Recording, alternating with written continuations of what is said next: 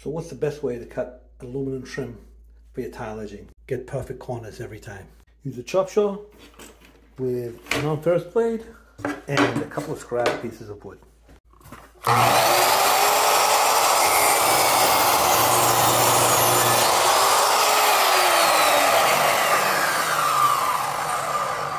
Perfect cut every.